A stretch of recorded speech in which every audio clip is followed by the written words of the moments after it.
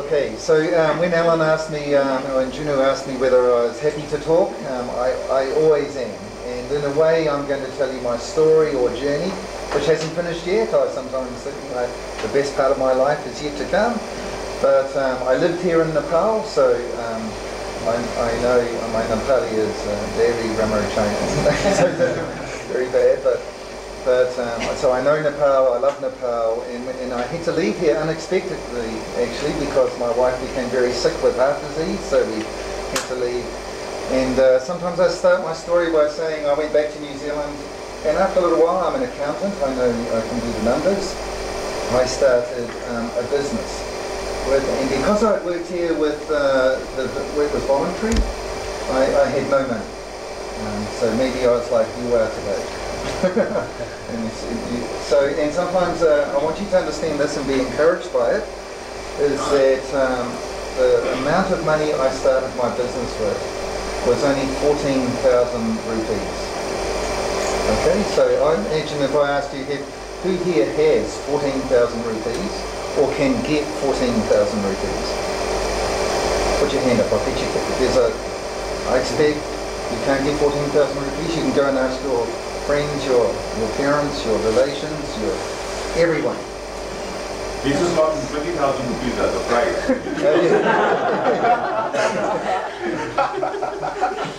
so I actually think, you know, maybe some of you are too shy to put your hand up, but I think that all of you probably could get, you either have it or you could get 14,000 rupees. and part of my journey, that's all I had. I had no other money. I started a business with that a software business, so I like software and technology. I cannot write any software, I'm not clever enough. I've got some other people to do this. And um, in the end, I sold that business for $25 million. Okay? So I don't know how many rupees that is. Do you, it's a lot of rupees. You know, so it's a lot of rupees. And, uh, and so what I like to share is how that happened. Okay. Also, I'm going to tell you that I did it again.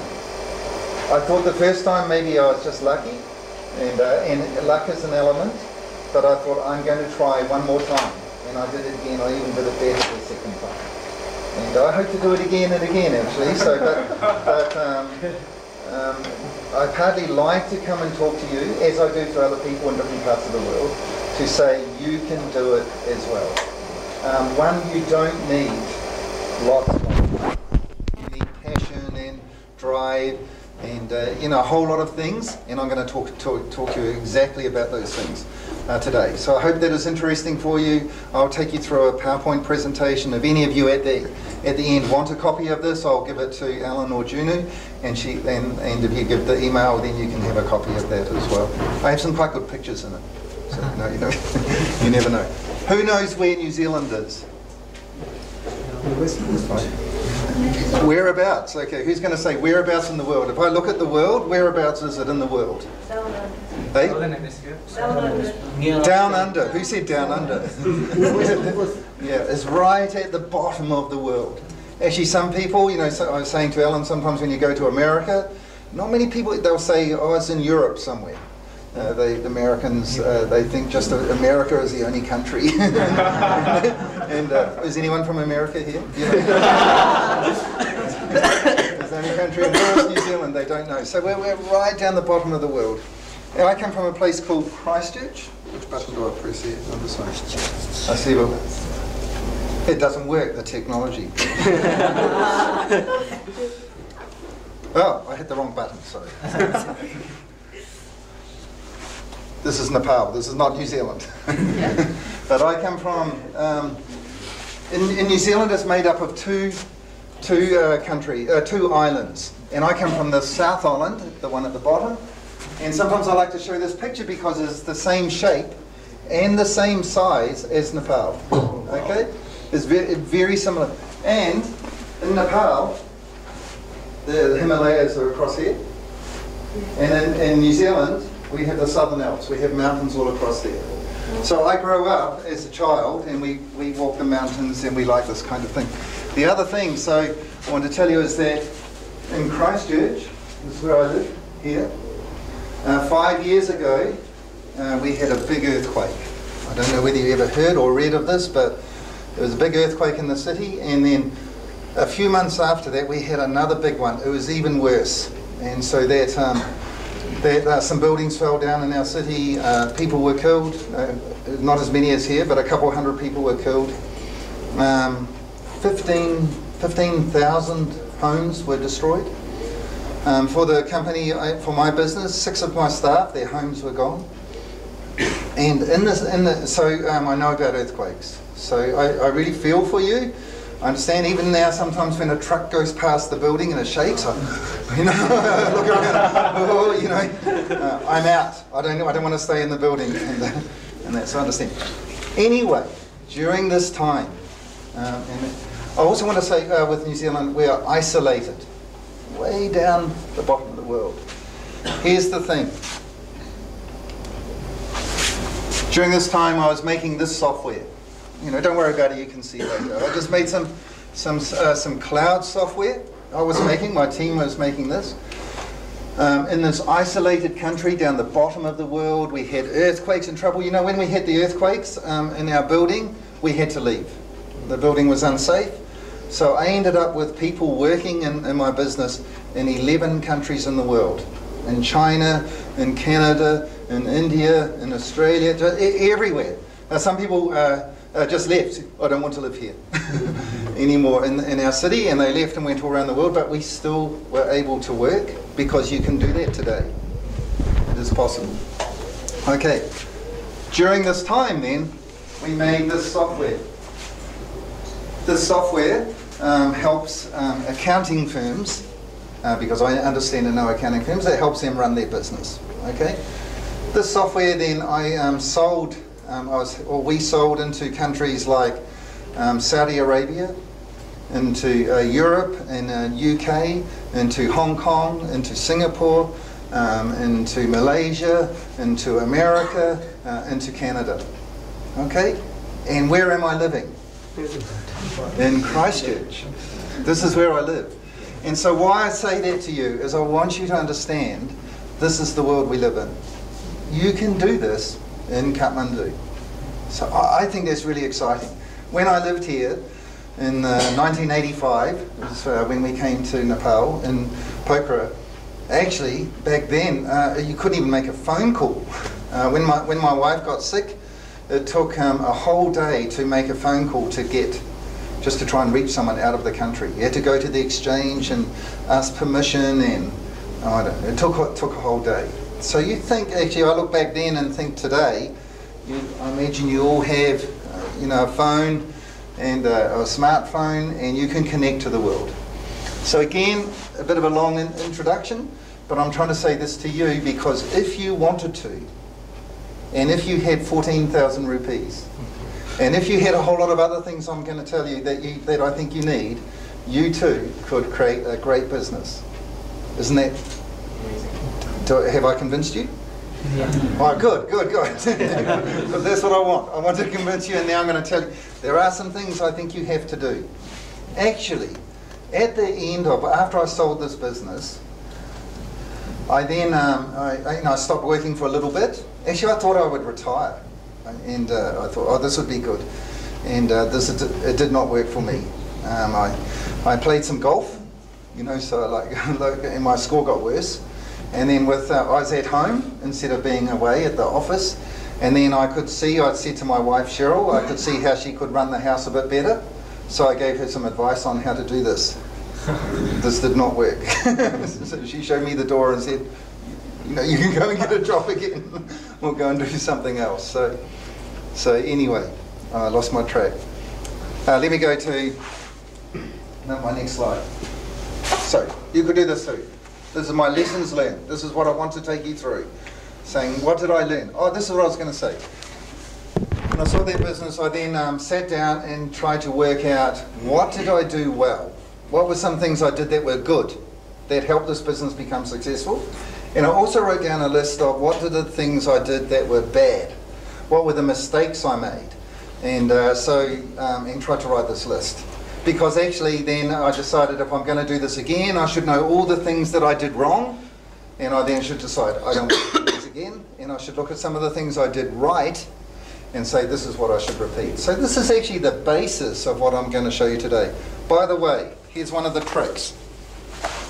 The list I wrote of all the right things I did and the good things I did, and the list I wrote of all the dumb things I did, the stupid things I did, the the mistakes I made, which do you think was the biggest list? Mistakes. Hey? Mistakes. It was the mistakes. Okay. Do you know one of the problems I see with people who who want to be successful and, and are not? They can't write the list of the mistakes.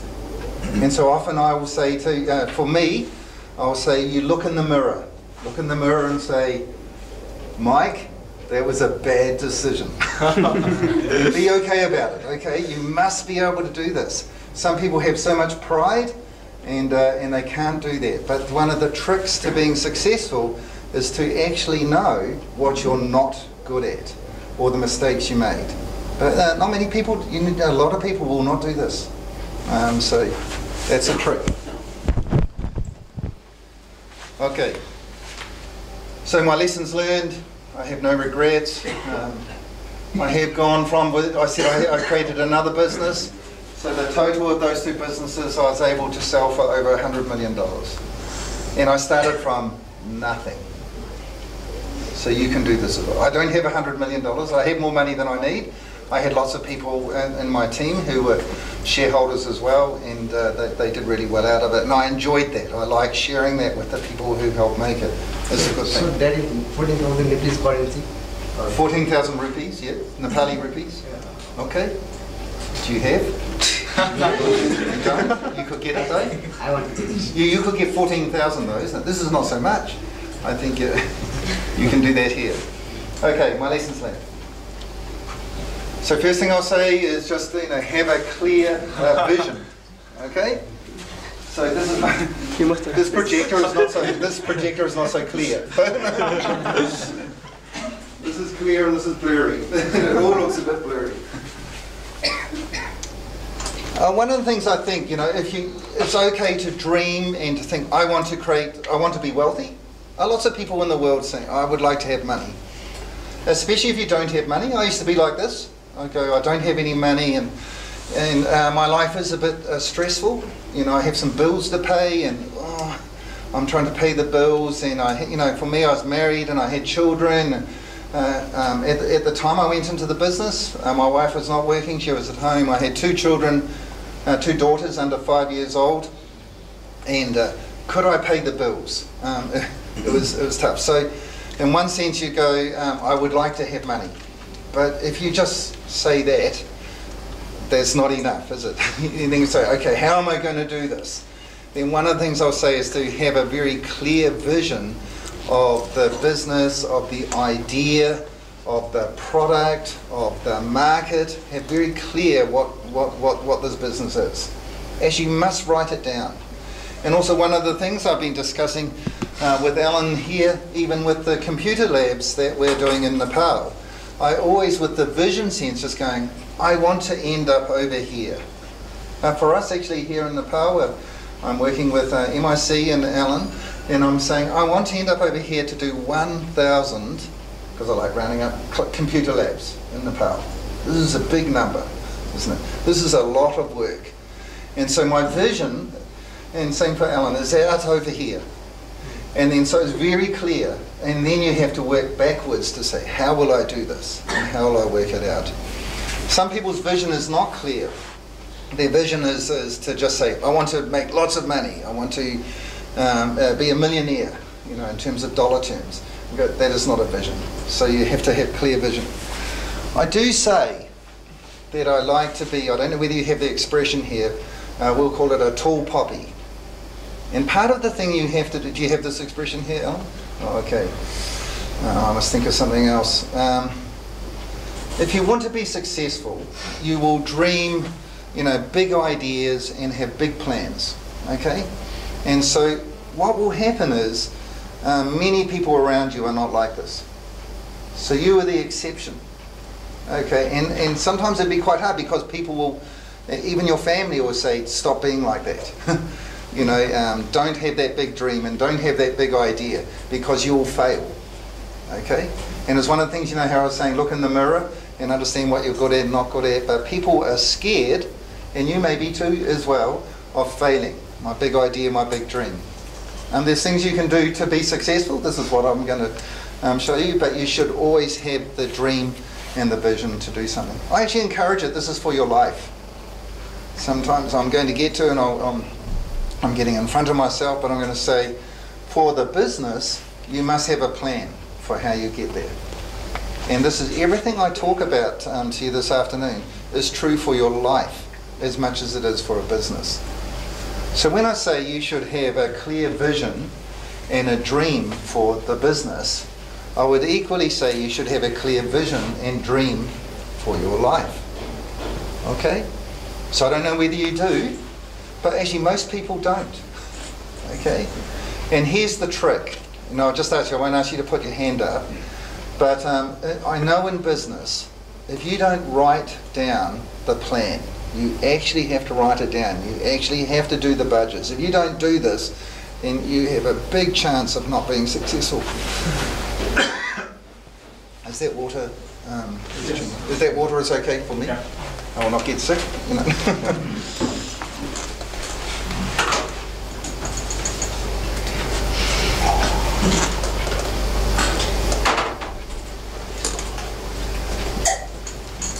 Okay.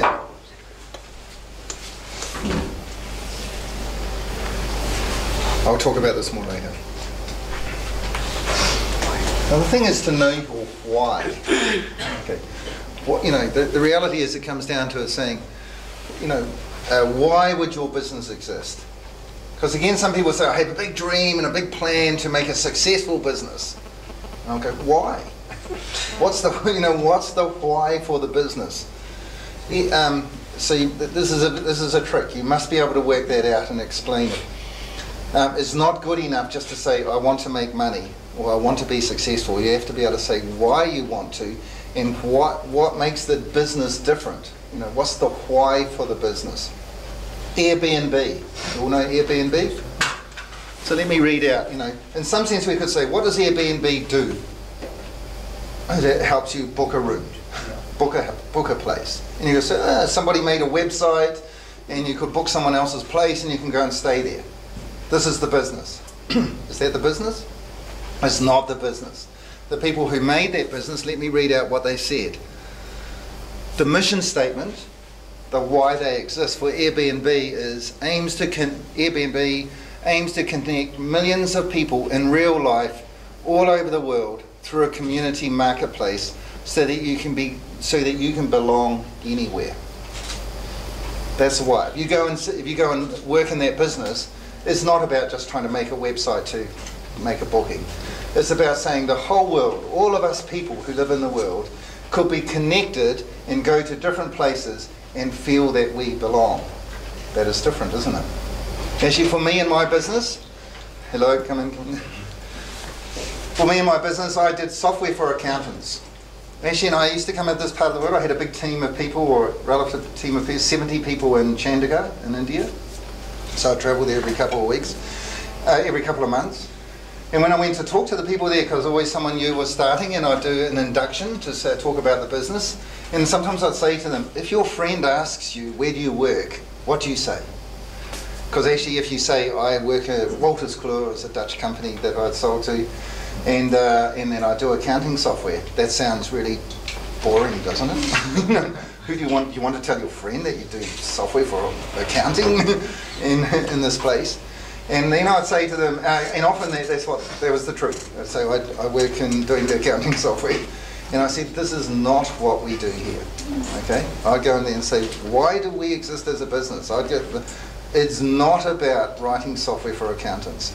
What I wanted us to do was to improve the profit and the success of every small and micro business. I love people who go into business, you know, just the little ones. Someone who has a chair shop, chai shop. You know, like everyone, you would know, everyone here would know someone in business, wouldn't you? So, uh, and you know what? Most businesses fail. This is the problem. And so my why for what I was actually doing was saying, I want to fix that. This is the problem I want to fix. And how will I do that? I will connect them with their accountant. This is the trusted person. I'll automate their accounting. Uh, you know, there's a whole lot of things I try and do. But anyway, it's important for you to figure out the why. Okay? So you might have a great idea and a great product, you know, for what you could do, but you have to figure out what's the difference you're making. Why would you exist? Why would anyone want this? So work that out. The other thing that's really important for a business. So I was saying have a clear vision. And I want you to, I want you all in a way, since if you all said I'm going to start a business one day, I'd go fantastic. You do that. Don't live your life not doing this. then what pain are you solving? Okay? So every business, you know, one of the worst things that can happen is for engineers make a make a product, or they make some software, and sometimes I'll say the only person who wants that product is them. The only person who thinks this piece of software is good or cool is them. So you actually have to look at it and say, what pain are you solving? What you know, uh, what problem are you solving? And the bigger the opportunity, um, nobody will pay you to solve a non-problem. Okay. So you must think in those terms. What is the problem? What are you fixing? Um, why would someone want to buy this product or this service service from you? Okay. Actually, I watched a Steve Jobs film on the way over here. Um, so the latest film, if who has seen the latest film? So there's two. This is the latest one. It's, yeah, it's mostly about his daughter, isn't it? Yeah, mainly about his. Mainly about his relationship with his daughter. But right at the very end, he said to his daughter, you know, right at the very end, he said to her, I am going to put a thousand songs in your pocket. Okay, he said that, didn't he? Yes. And so, so that, why, why did he say, what problem was he fixing? Or what was the pain? What was his daughter listening to? Uh, cassette player. Yeah, cassette player. Are you old enough to even know? Do you know what this is? it's a big, it's a big box, and it could only play how many songs on a cassette? Maybe ten songs. That's all it could do. And she had this big box around it, and he said, "I'm going to fix that. I'm going to fix that problem, and I'm going to put a thousand uh, songs into that." So you must look at things like this, you know. So and actually, he was very successful, wasn't he? Um, but iPhone. So I have an iPhone. I know I'm at Microsoft, but you know, I have the I have the, the Microsoft Windows. So I like Windows 10. There you go. Good. Steve Jobs at a board meeting. Was Apple making phones? No, no. No, they didn't make any phones. And at a board meeting, he said to his board, "I want to make a phone." Do you know what the board said to him? No, you can't do that. What a stupid idea. Um, we all have phones. All of them. Everyone sitting at the table has a phone. A Nokia phone. I don't know. You know, the Nokia was the big phone at the time. There were lots of people who had phones. So then he got it out. Then he said to them, "Okay, this is why I want to make a phone. I want you to enter into the phone the name and address of a contact. Then I want you to send a text to them and make a call to them and send an email to them. Go." So then, this is what I understand. So people on the board, you know, back then that was hard to do. Every phone was different. There was no standards. Actually, even if you could get the name and address, and then there's some other menu to do the text. Uh, email may not be on there. There's all these. It's a big problem. So then, at the end of the demonstration, said, "That's why I want a phone." Look at you. You're all hopeless. You know, you all got different phones. You all took 15 minutes to do a thing that I can do in one minute. This is what I want. So the, understand. So I think it's exciting. You can look around you today, especially with the, the mobile phone and apps, and um, and these are here, aren't they? You know, a trip I did, I think maybe two years ago to here. I went to a place called Bertie Bung in uh, district. You know who knows Bertie Bung? Okay, so it's a long way. It's a long way away. I was there, and uh, and I went over the river and up the hill for another hour over there, and up there was um, a woman, um, and I say quite a, an older an older woman. Her face was wrinkled. I don't know how old she was, and she up she had two phones, two phones, two smartphones, and then on and then on this other one. And I thought, wow, uh, Nepal has really changed. really changed. You know, like uh, when we were back there to, to um, communicate with someone was three days walk. to, to try and get there. And it's a long way away.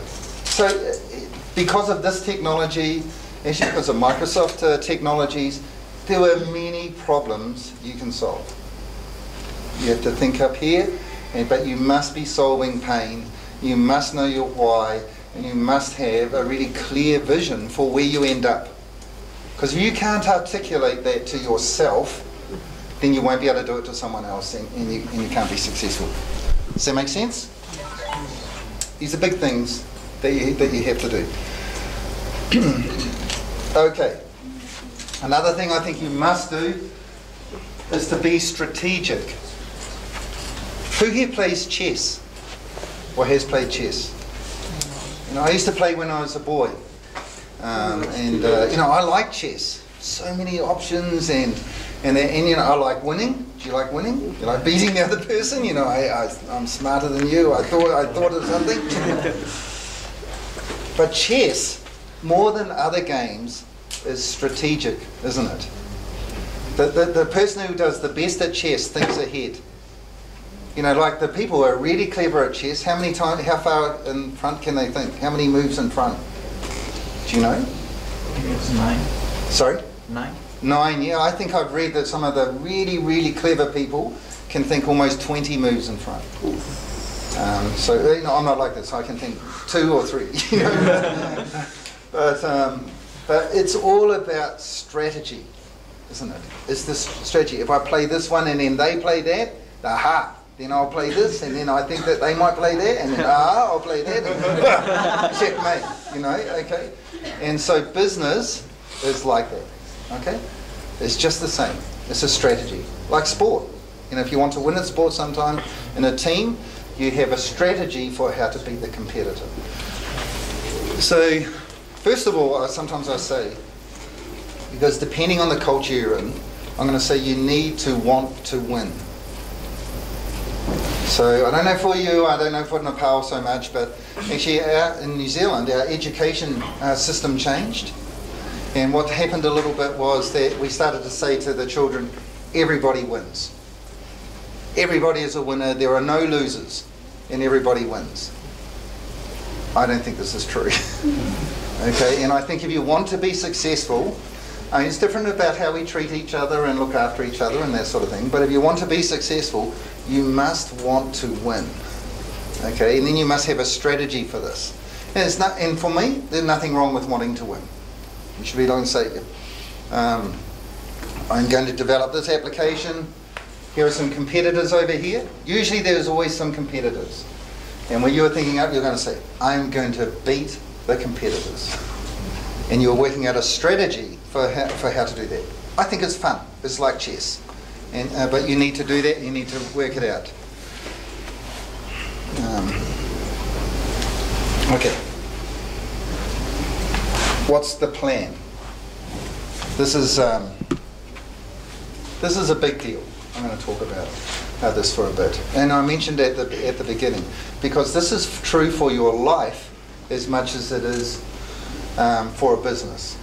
So sometimes I'll just say, uh, for a business to succeed, it must have a plan. Do you know what? In, New Zealand, I don't know for the case here, but I imagine it is the same. Out of you know all the businesses in New Zealand, there are maybe 350, 400,000 businesses. 95% of them will not have a plan. If you talk to the business owner um, and say, "What's the plan?" then they'll they'll say, "Oh, I have a plan to uh, make some money." you know, my plan is to be successful. And all that is is just a uh, thought up here. But there is nothing written down. And I'd argue, I've gone in to try and help businesses. I remember a business a while ago I'd asked to have a look at, and it was in big trouble. This is a business with 100 staff, and there's a, there's a lot of people's jobs at stake and that sort of thing. And the directors on, in that business asked me to come in and have a look. Can you give me some advice on what to do? So I had a look at, I talked to lots of people in the, in the business and I talked to the directors and I had a look at what the business was doing. And then when I went to uh, see the board there, I said to them this, and it has quite offended them. I said, you have got what you planned for. They were in big trouble. They were going to go broke and everyone was going to lose their job and lots of, and I said, you have got what you planned for. Now they looked at me and uh, they were unhappy with me saying that because we, they were then saying, we did not plan for this and we did not want this. But then I was trying to say to them, nowhere in that business could I find the plan, the strategy, the goals, the actions, the activities to be successful. I couldn't find it anywhere. Some people would say this, some people would say that. There was nothing written down. I couldn't go in there and say, give me your business plan. Because when you work out the plan, um, then, then, then it becomes that much easier. So there is a saying, if you fail to plan, then you plan to fail. this is true. I'll stop here for a bit and talk to you about, because this is true for your life as much as it is for a business. So for me, it, it took me a long time now before I actually got to this. And so now I want to tell you also that I write down a life plan for me. I have my family, I have my children, but this is for me. For what do I want to do with my life? I write this down every year. It's e- easier to do from year to year because the first one is the hardest one. I won't ask you to do, but I suspect that most of you here, if I said, Can you give me your written life plan? You probably can't. Okay? And I find it it's because I know I was the same. And I'd say, Look, if you did nothing else from today, I'm pleased that you came along and, and we could meet and talk. If you did nothing else, but went home and actually got out a piece of paper and wrote down, the plan for my life is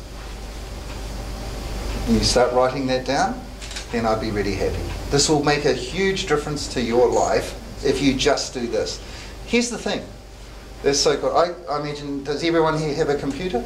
Yes. Uh, you have a phone too, don't you? Yeah. you have a phone. Yeah, um, Ellen, you'll be pleased to hear, even on my iPhone, the thing, the application I use for writing down plans and thoughts and ideas is OneNote. Okay, it's free. It's very good price. You know, so you can get you can get this on your phone, and so it's very good for keeping the lists and plans. And you know, you can have tabs and all sorts of things. You have no excuse, absolutely none. Not one of you here has an excuse not to have something down. My life plan. This is what I do, and I break this plan down, and you'll get better. For a start, I just say when I wrote my first plan, which I wasn't in. I only did this when I was in my mid 30s. You know, let's say 35 or something. So probably older than most of you, because it took me a long time to actually get to this point. Um, but now, I, as you can see, I, I try and say to everyone, you should all do this because that changed my life. Just trying to get down and saying, this is what I want for my life, what I want for me, what I want for my family, what I want for Cheryl, what I want for my children, what I want for my finances, what I want for my spiritual life, uh, what I want for my education and learning. Um, uh, actually, and then I put down, I used to have a section called Wild and Crazy Ideas. Okay? And because I'm older, you could, this is a good section for you. You are younger. Wild and crazy ideas. Everything, you know, when do you get those wild and crazy ideas? I think when you dream. Don't you? Sometimes in the middle of the night you go, I want to do this, or you had the dream about something. Now you get you get out the phone and you write it in. This is what I want to do. Because when you wake up, you go, oh, I had a really good idea and I've forgotten what it is. But you, you write it down. So I had a section called Wild and Crazy Ideas. I've been keeping this for, for many years. I changed the title because I'm older. right, so now I changed my title to Things to Do Before I Die. you know, look at, oh, you know, I'm getting older. I better do this one and do this one and do this one. So, if you did nothing else from today, but you went home and you put it on your phone, on your computer, you started a document. Mine's just a document that says, this is my plan for my life. Do you want to have a successful life? Yeah. Of course you do. Then make a plan to have a successful life. This is about as simple as that. You get what you plan for. You want to be successful? Write out the plan. Writing out the plan for me, also when you write it out, sometimes you look at it and go, mm, that's not a good idea. or this one, this one I don't think I can do. And sometimes you, there's other things you can do. You should share that with some, sometimes the people who you really trust, and they'll help you and mentor you and that sort of thing. I know I've, I've changed a little bit. But I'm saying I, I, I, I know it was so good for me that it, from that point, it was later that I started the business, and that I've always lived by this because somebody told me. It wasn't me who thought of it. Somebody told me, Mike, you are drifting.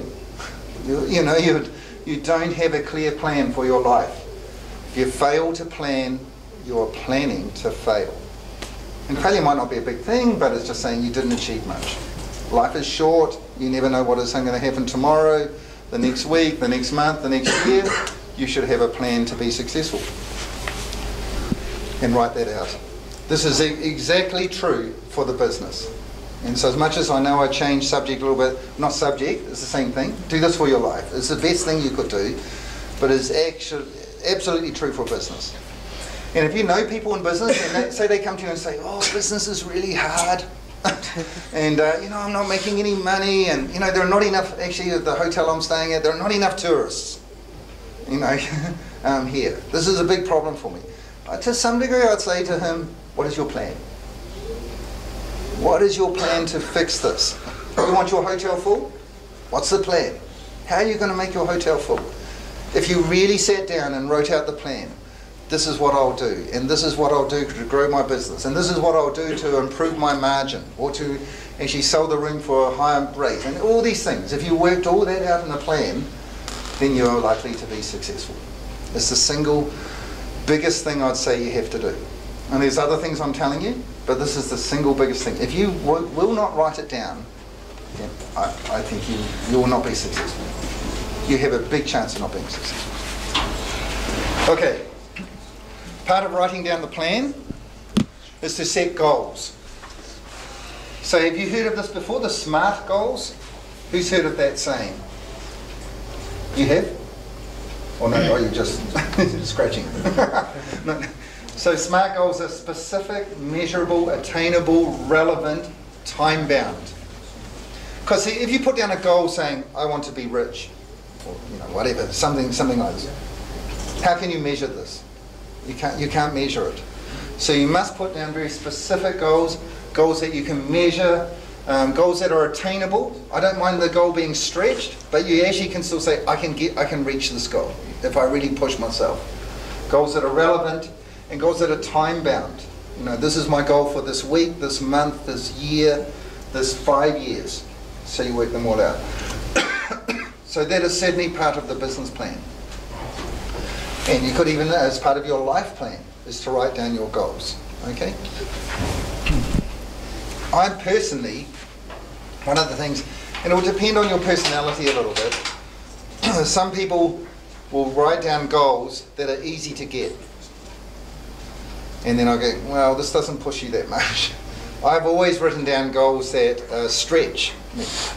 And to some degree, there's another American guy in business, a guy called Jack Welch, who ran, he was the CEO of General Electric. There's, he had lots of good books from him. He would always say to have stretch goals, and it was better to to get 80% of a stretch goal than 100% of a small goal. So I'm a fan for that. It's a wee bit your personality type. So you must understand your personality type, because for some people, like for me, I'm okay with this. Because then I get to the end of the year, actually, in my business. Understand I started a business with no money.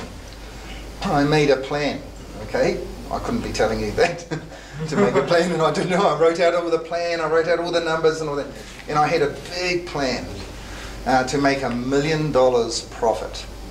This is a lot of money you know, for me. I had made no profit, okay? But I, I listed out all the plan, made all the actions I was going to do, all the software we are going to create, uh, all the budgets and, and, and this to do, to do it. This is a big goal because I'd never done it. And so a couple of things I'll tell you. The first thing was that year that I made this plan, I think I made ten thousand dollars. So I missed it. I missed my target totally. You know, I only just made enough money to stay alive and, and to survive. So one, I was learning how, how to do this. I was, I'm ambitious. I have these big goals. Second thing I'll point I say, so look, you don't want to be this far out, um, but it's okay to stretch yourself because you're always stretching up here. Think, okay, this didn't work. How do I try this now? How to try something else? Okay.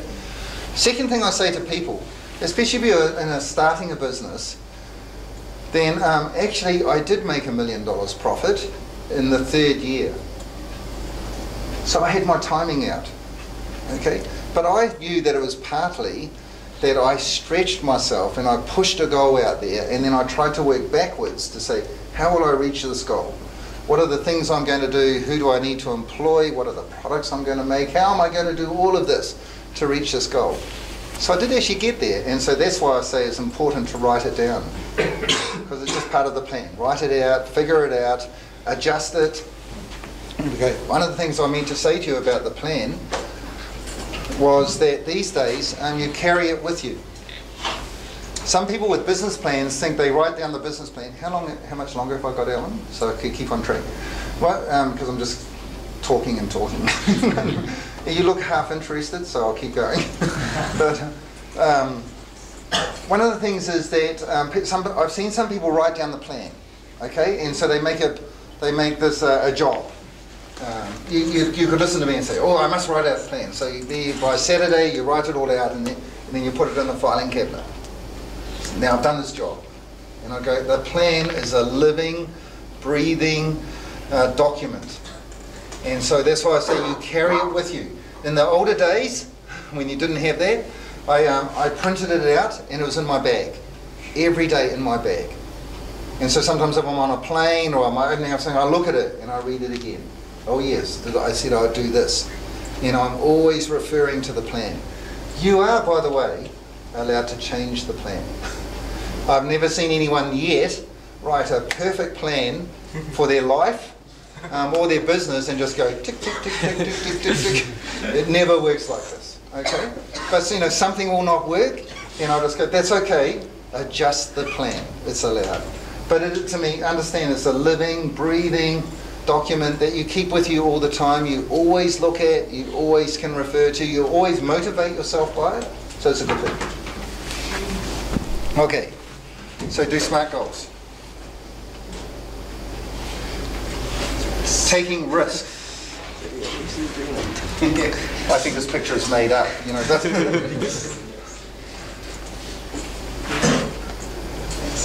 the real risk is doing nothing. One of the things you must do is, uh, is try, you know, like if you're going into business and even for your life, you can have some big goals and plans. It will mean you take a risk. And one of the problems you might well get is sometimes uh, taking the risk, you may even find that your family, uh, your friends, um, tell you not to do it. And so it's quite a big thing that you actually have to, I think, you have to take risk. You actually almost have to like risk. Okay? And being entrepreneurial, I just go, yeah, I like entrepreneur, you know, I like being entrepreneurial. I like taking the risk. It's a calculated risk. I'm not being stupid. I totally accept that some things will not work, that some things will fail. Uh, but if I'm going to do that, then um, actually it's a Microsoft thing sometimes I've heard, fail quickly. You're going to fail, do it fast. and then, uh, then change. Because now you look at this idea, it did not work, so you change to something else. Oh, we have some tea. I'll, I'll stop for a minute and you, you can, sh- we hand it around, or shall I keep talking? Well, Please go on. uh, okay, I'll keep going. Okay. One of the things um, that I found really hard to do personally was to lose money. I don't know for you, but you know, like here's my business and I'm trying this idea over here and then this one and this one, and it all adds up to being I'm going to be really successful. Okay? The plan is the bit. Now I have to do it. Now I start to do this thing here, it doesn't work. the people didn't buy the product or something like this. And uh, so uh, one of the things I've learned to do is to, well, where to cut off, but I've learned to accept that not every idea is a good one. And that sometimes you'll lose. And this is why some people don't go into business because they're too, they cannot take the risk.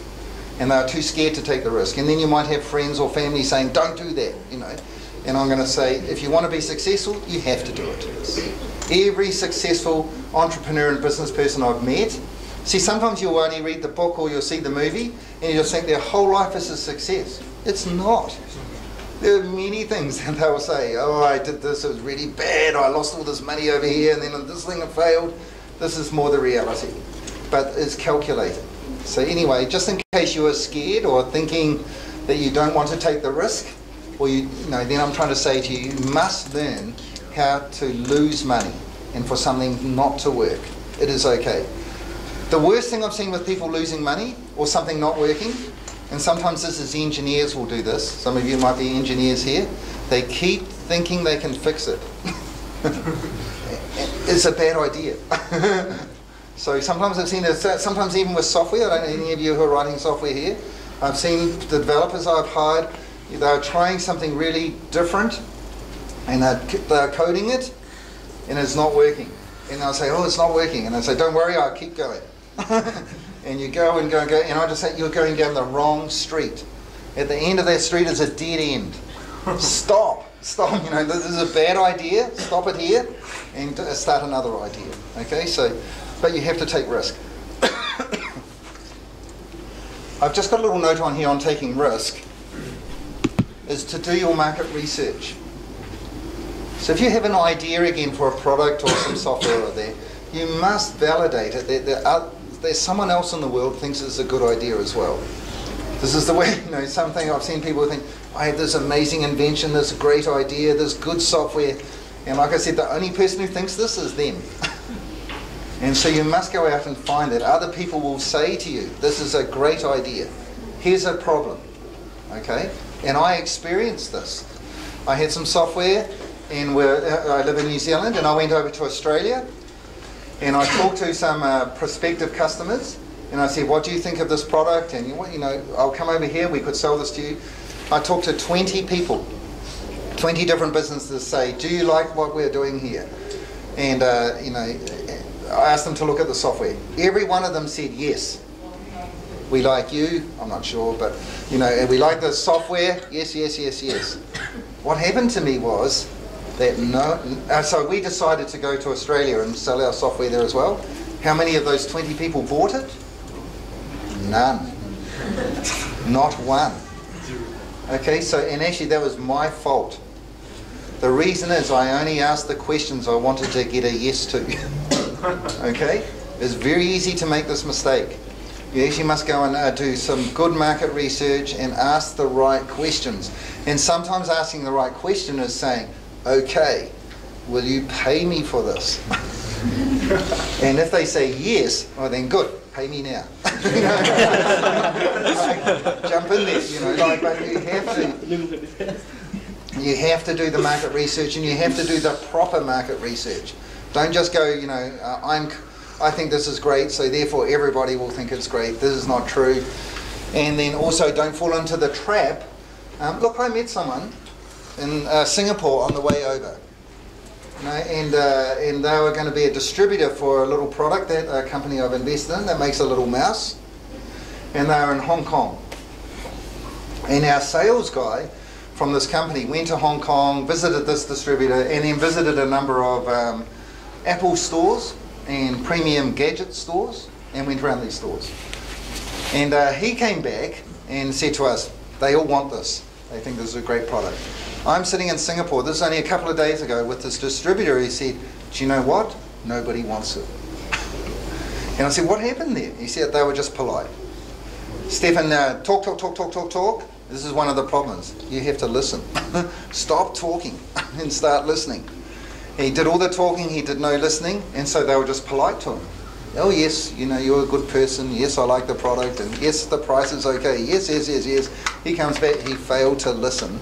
He failed to do the, uh, the proper uh, research and find out the truth. And sometimes people will want to be polite to you and say yes, because they don't want to say your idea is stupid. It's only friends or people who are close to you who'll have the hopefully have the courage to say this is not a good idea. Um, the software is no good. You know, you need people around you who will tell you the truth, and you need to ask the right questions and do the right research. Okay, it's quite a hard thing, isn't it? Because we all want to think, hey, this is really good, and, then I go and show a whole lot of, people, yes, you are really clever. The product is really good. You know, and so you just feel really good. And then you go to sell it and nobody buys it. then you have a big problem. Okay?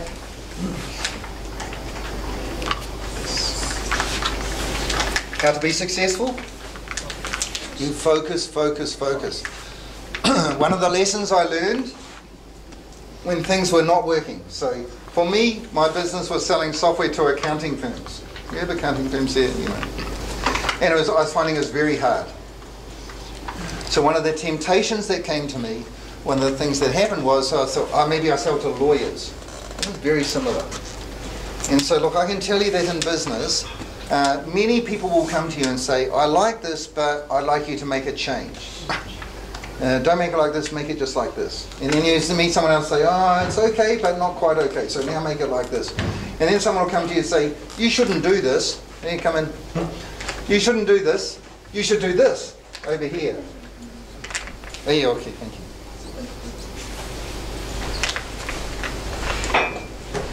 You should do this. So, so you'll get uh, many distractions and many, many thoughts about what else to do. And I'll go, look, the person who wins at sport, the person who wins, you know, sometimes in, uh, in education and university, the person who wins in business, my view is that they're really focused. Okay, and all the distractions that come in, you, you, can- you push them away. You, you stay focused on your idea, on your plan, on your goal. And I'm telling you, the distractions will come all the time. Everything, there's the voices, the people will tell you, that, and you think, oh, it's maybe better to do something else. I'm not saying don't listen to uh, feedback, that's another issue. But you must stay focused. And so um, that's the key. Same for your life. When you write out, you, now you're going to write out your life plan tonight. and you know, you write that out, stay focused on this is what you want for your life, stick with it. You know, like I said, you can change your plan a little bit and, and ideas, but if you know what you want, then stick with that and stay focused on that.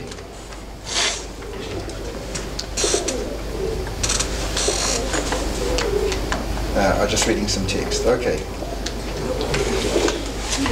Oh, this is a good picture actually. It looks better when you get the thing, but is Louis Fish. And the bird's open, I'm off. One of the things, there's many pictures, but for you to be successful in business, I'm going to say this is something that is true for all the people who have been successful. They do not give up. So as much as you get the feedback and you get the knockbacks and things, plans don't work, you just don't give up. Okay? So it's part of your characteristic. You know, you should be a stubborn person who just say, I have the goal, I'm going to get there. And so it's part of what you part of what you do. Here's something that will happen to you. When you if you want to do this, you never give up. Sometimes you'll feel very lonely. I can remember saying uh, so- sometimes that nobody understands me. nobody gets it. And, uh, and, and I, I, I did a, made a complaint to the chairman of my board. Um, I was the CEO of the business, I had my management team, I had lots of people working with me, and then I had a meeting with him. I said, Nobody understands me, nobody gets this, and all that. And then he looked at me and said, This is your job. this, is, this is what you signed up for. If you want to be an entrepreneur and you want to be successful, sometimes you will feel all alone. Okay, so it's just it's just part of what happened. But never give up. It's part of who you are. I'm sure you have this feeling, and then I just go feed, feed it. it's a good thing to never to never give up. I've got down here again, you know, um, Bill Gates, since I'm in Microsoft. so there's one story I can remember reading, and uh, I've read lots about uh, about him. And uh, you know, uh, Paul and Bill started Microsoft. Two people. And I don't know how many people work in Microsoft now, Alan. 100 and 150,000. 150,000. There's two people. So you are two people here. You know, it's you and your friend. You know, you could start something. Anyway, um, and you should be encouraged by that because it is possible. Okay. Um, I read one ch- chapter on Bill uh, was encyclopedias. Okay, so there used to be, if you wanted to get the encyclopedia, it was Encyclopedia Britannica. You remember, or your parents might remember. And this was very expensive. To, it was all printed, and people would have it on the on uh, on the light, you know, on their shelf, and all these things. I'd be very proud of it. All these books, so much money to get this. And uh, I read a chapter that Bill Gates said, "I forget all this. I put the whole encyclopedia onto a CD." And then that that product was called Encarta. Then- But here's the story: that he went to his board and said, "This is what I want to do. I want to take something that costs thousands of dollars." and make it available for $50. What did his board say to him? You can't do it. You can't do it. This is a bad idea. Do you know what he did? Because it actually happened. He didn't give up. So even though he was a big shareholder in the company, he didn't give up. When he got rejected, this is one of the things that happens in business and sometimes in life. you get rejected. don't give up. You know, like, is, don't quit on the first hurdle. You keep on going. So he didn't give up. He went back to the board, must have changed the plan a little bit, convinced them some more, and, and, and didn't give up. Here's another one I asked today. Uh, In Nepal here you have KFC. Yeah. Terrible, isn't it? This is awful stuff. you know, it'll make you fat. anyway, but, but the, the person who started that business is a, is a guy called, he was called Colonel Sanders from Kentucky Fried Chicken. Okay. Do you know when he started that business? What age he was? He had retired, he had finished work. So he's an, he's an old person, even older than me. He was in the mid 60s, I think. And he had this recipe for making the chicken with the outside, finger licking good. But anyway, he thought this was good. And he, um, I used to, I used to eat it, but you know, it's not, it's not good for you. but um, he went around America trying to find someone who would help him make this into a business. He had no money. He had the recipe. Um, so he went to see many people and said, I have a good chicken recipe. And so then, uh, and I want to do something with this. Will you invest in this or something like this? So how many times do you think he got turned down? People said, I don't like the recipe, I don't like you. You know, he got turned down over a thousand times. Rejected. A thousand times. Can you tell? I, so I use this to inspire me, you know. So, so and so, so should you. He did he quit? He didn't quit. Actually, he became a very wealthy person. Started this whole business in stores all over the world. He never quit. Actually, he did had no money. He couldn't afford to stay in the hotel, so he slept in his car. He's an older guy. I, I really admire that. He would not quit because he believed that he had a good chicken recipe.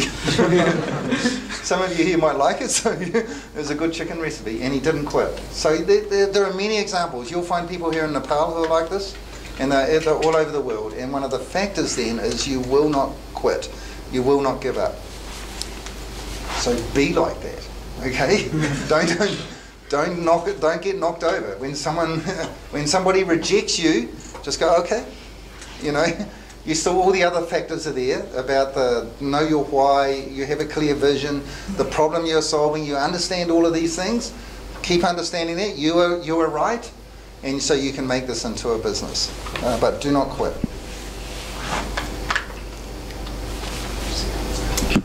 So this is something for business more than you know more than for your life.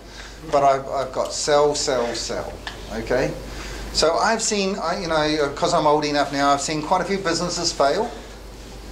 and the reason is because they do not put the effort, um, the money, the time into sales. And often, the, often businesses, and it's particularly true for in New Zealand. I don't know for you what your career is or what you're doing, but engineers, actually, engineers are clever people. you know, I like engineers. I've employed lots of them, and they have a clever brain, a better brain than mine. And but one of the, sometimes I say they have a design fault as well, and their design fault is that they're always trying to make the thing perfect and uh, make the product perfect, make the software perfect, and, and so they keep working to make the thing um, more perfect, and then they never um, get, they never focus on and make the effort to make the sales. It's really simple. No sales equals no money. Yeah, good. Which equals no business. you have no sales, you know. I've said that to lots of people in the companies I'm involved with, in the business. I, no sales, no business. So I always, here's one of the things, especially if you're an engineer. The problem is you'll have to hire people who, who probably don't have as many brains as you. These are the salespeople. And these are the people who go rah rah rah rah rah, and uh, you know, and I want the phone, and I want the car, and I want the money, and I want the commissions, rah rah rah rah rah. and you're going, oh, these people are so painful. you need salespeople. And if you came to my business, I used to come when the lift came to the middle of the of the floor, and I would say to people over this side of the business are lots of clever people. Actually, they all have a headset on. they're very good with talking to the computer and not with anyone else. But you know, but they're clever people. They make software. They're very clever. I highly respect them. Over this side of the business, this is where I, I live and work, and a whole lot of other people, we're the rah, rah, rah, we're the people. Do you know what? And we do the sales. Do you know why this business works? And I, we ended up being quite successful. Both people like each other. they respect each other. I respect you have lots of brains and you can make great stuff. But the people over there that, that were doing this, they respected that you need people to sell. So one of the problems I've seen is uh, uh, engineer-driven businesses don't hire salespeople. Or if they do, they hire a salesperson, and the salesperson go rah rah rah rah rah. I'm really good. I can sell many things, and they never do. And then they finally they fire them, and they or they leave, and they go, "Phew, I'll never do that again." and I say, "You must do it again. You must just go. Look, this is a this is a failure. It didn't work. You must hire salespeople. You must sell things. Every business sells, doesn't it? No sales equals no business. Don't wait to perfect the, the, the product. A quote from Steve Jobs, actually, that um, somebody wrote that I like. He says, Real CEOs ship. You want to make money. You know, so uh, Apple is the most uh, uh, valuable country, uh, company in the whole world. Okay, and it still is today. Um, so, but and he, he said a quote which I, I try and live by: "Real CEOs ship." And actually, there's a good example of it. And so, uh, the iPhone 4, if you go back, had a problem, didn't it? Can you, anyone anyone can remember that version of the of the phone and the problem it had? reception. It was the reception, wasn't it? Real CEO ship. I reckon that it, behind all of that, he thought, I must deliver my numbers, I must have sales, I must look after my shareholders, I must be successful. Ship it. Okay, I'll fix the problem later. So this is very hard for an engineer. very hard for an engineer to do this. A salesperson, ship it. Make the sales. we'll fix the problem later. This is how I am. And actually, I think it's okay. I, I'm not asking you to be stupid, but I think it's okay that you must you must focus on sales. You must ship the product and get that. Actually, I say to people, sometimes I, uh, when I'm asked to advise a business, then I'll say, create a problem. Okay, I want you to create a problem. Okay, and then they're looking, you go, ooh, you know, what are you going to say? I want you to create a sales problem. Okay, this is the problem I want you to make. I want you to have more sales than you can handle. Why do I say this? You know, so then actually if you do too many sales sometimes, then the phone is ringing, the people are complaining, they can't get hold of you, all of these problems. And I go, this problem is easy to fix. and if you have made the sales, you have the money. And if you have the money, you can hire people. This is how I think. And I actually think it works. Um, but if you have, if you don't have the sales and you don't have the money, who are you going to be having a conversation with? The bank, the parents, or, or something. You're going to have this conversation. That's a, I don't want that conversation. I can handle a customer who is unhappy. I can hire someone else to do, give more support. I I can do all of this because I focused on sales. So if you're wanting to have a business, then I'll say you should be dreaming and sleeping and eating and thinking. Sales. Okay? No sales, no business. Sell, sell, sell. Actually, sometimes I ask, you know, for my first business, when I came back from Nepal, the $200. And, um, and someone came to see me. And so we had nothing. You know, look, I, the car I had was a really bad car. So I'd park it around the corner. I thought if a customer sees me in that car, they'll never buy anything from me. so I'd hide the car. And, uh, and, uh, and I'd carry the computer to them and I'd show, uh, show them uh, these things. um, to make the sale. And someone came to see me, and look, I was up against really big competitors. Uh, public companies, they had lots of money. I had nothing, nothing. And someone came to see me and said, How come, and uh, for our product, we became the 70% market share. Number one supplier. This is my goal. Number one supplier, 70% market share. And someone said to me, uh, How did you do this? One of my answers, I mean, there's lots of things which is I'm telling you today, but one of my answers was I just saw them say, ah, I hired more salespeople than you. and they sort of look at you and go, oh, is that it? you know, I go, yeah, it was. It was. You didn't hire the salespeople? I did.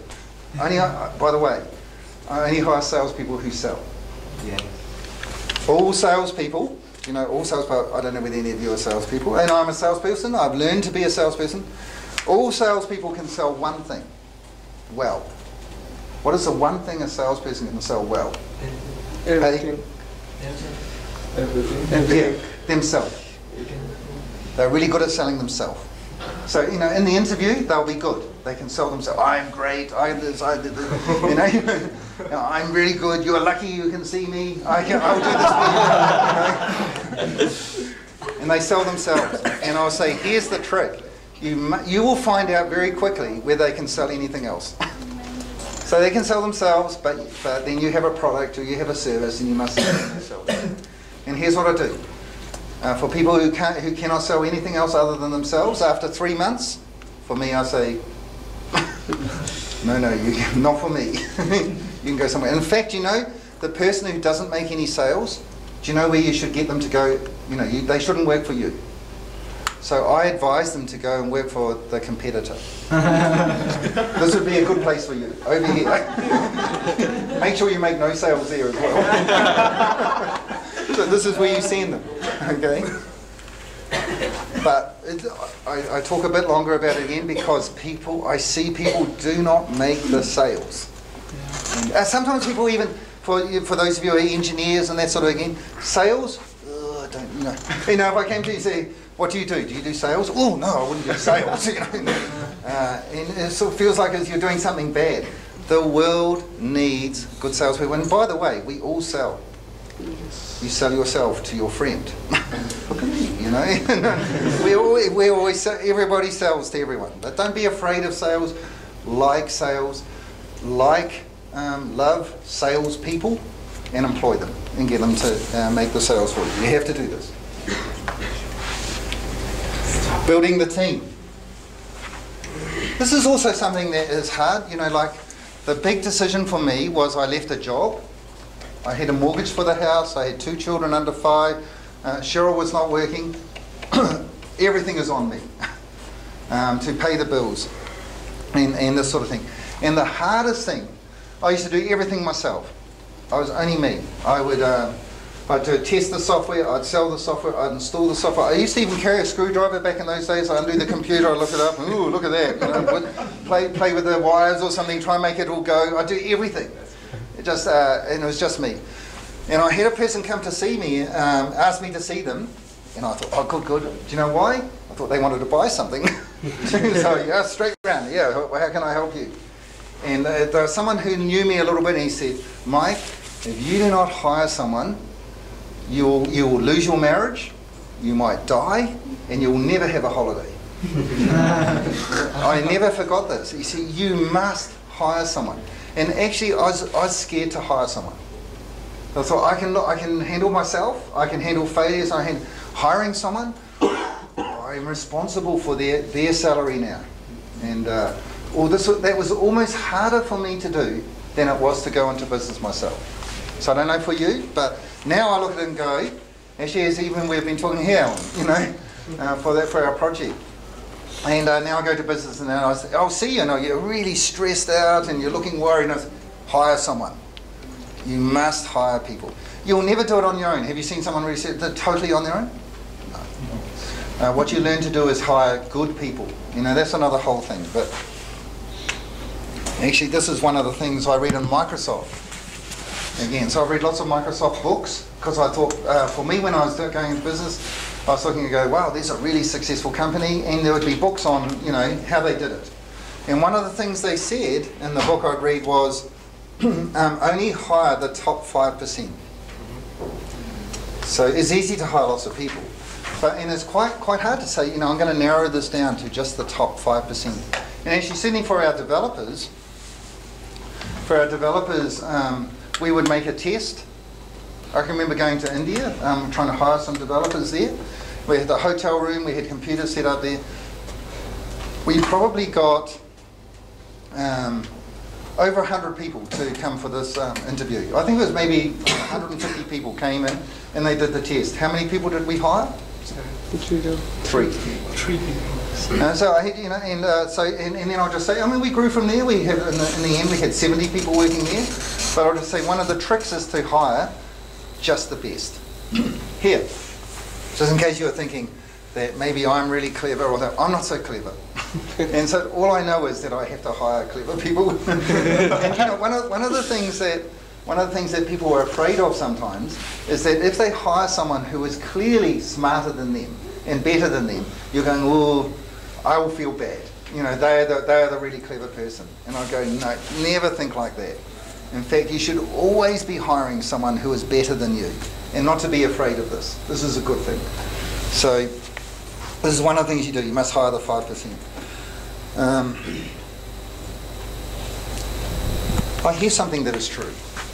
There's also, um, if you hire great people, you know, really clever people, and particularly this, I see this is true in uh, software development, those people want to work with great people and clever people. The worst thing you can do is hire someone, especially sometimes you feel pressure to think, I really need more people. And so you, you hire someone and they're not so good.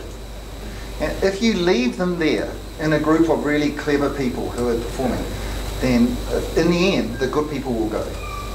So clever people, good people, hardworking people want to work with clever people, good people, hardworking people. Don't don't don't mix that up. Okay. This is something else. I was looking at my notes here. Where's, where are sometimes that you know you have the business, and every business will have competitors.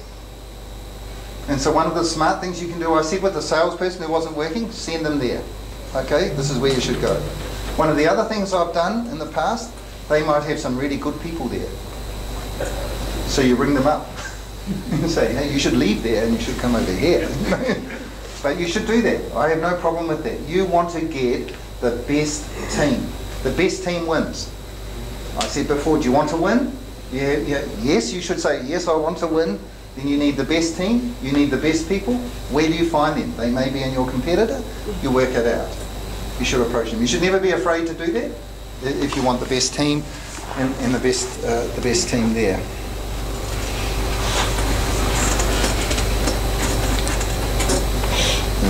Oh, there. Oh, whoops. Personalities. This is something that um, have any any of you done personality profiling? Personality tests? Who has done this?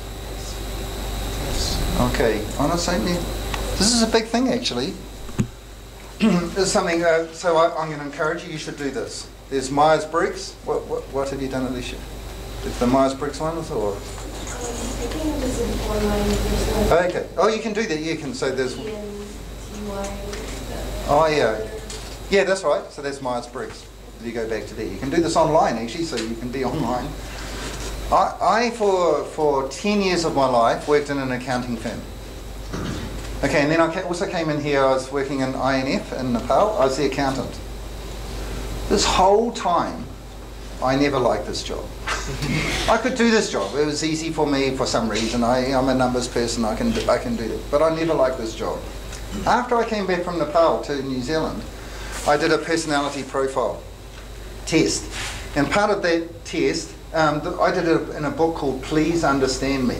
There's no right or wrong personality, okay? It's just who, who are you? And, and how do you think? And how do you behave? So I filled this book out and I ended up being, with the letters, the ESTJ uh, for the letters. And when you look up the career that suits you, it was an accountant. Okay. Then my wife looked at it and said, this answer is wrong. so was this one, you were not like this, you were like that. you were not like that, you were like this. And I thought for all the years, because there's no right and wrong. It's just how do you behave in the, in the you know when you go to a party. Do you want to leave because you know so many people there, so much noise? You want to be on your own, or do you go? Oh, I like the noise. I like the people. I get energized and these sort of things. This will define you as a person and as a personality profile. So when my wife changed, uh, said these are the answers, and I looked and I said, she is right. this is true. Then I we became an E ESTP. So just one letter change, the J to the P. Then what am I most suited for? One of the things I'm most suited for is to be an entrepreneur. Actually, is said if you don't be an entrepreneur, then you might end up in prison. an entrepreneur doing bad things. and so, so do good things, okay? So now, this is a really big deal for me because it helped me go, I'm going to leave accounting, which I've never really liked. And actually, the irony is, then I make a product to sell to accountants. this will this will be better. But it helped me say, actually, almost look in the mirror and say, this is who I am.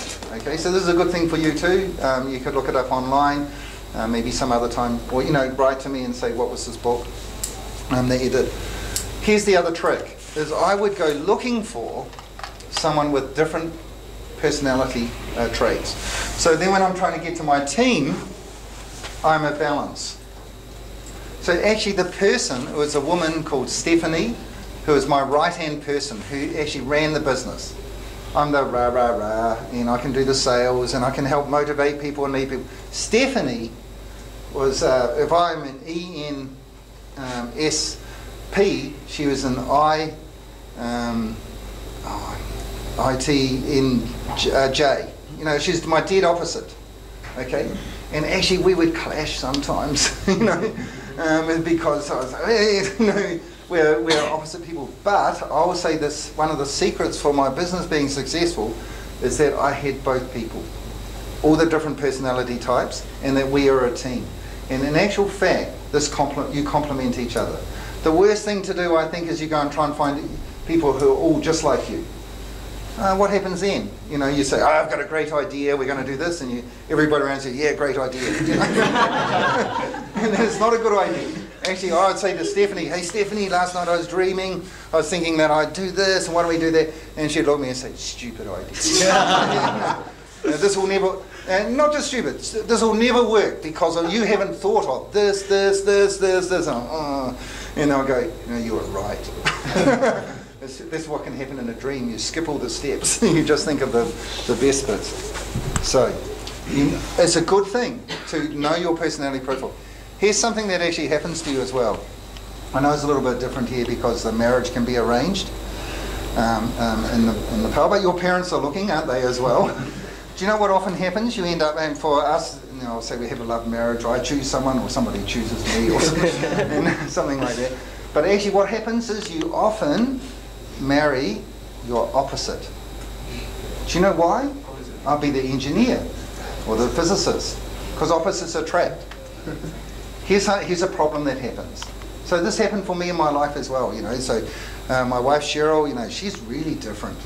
You know, she thinks really, oh, I really, this is this is interesting. Uh, this is fun. I like this, and she is thinking that of me as well.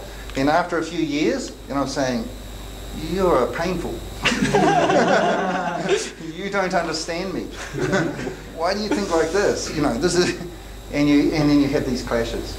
So you have to work that out. I think still, um, you know, we had to go through some talks and discussions trying to understand it. Even this book, trying to understand it. So it's a good thing. So this is for your life as well. But it certainly is for business. I have actively, everyone who comes to work for me, I say, do this test. There is no right or wrong. I am just finding out who you are and how you fit. And then I also can understand your motivation and this thing. It's a good thing to do. Letting people go. this is one of the things I don't know. I don't know how it is here, but look, um, actually, one of the people I've read a lot about again is a guy called Jack Welch who ran General Electric. And as far as I can tell, he ran one of the best HR programs in the world.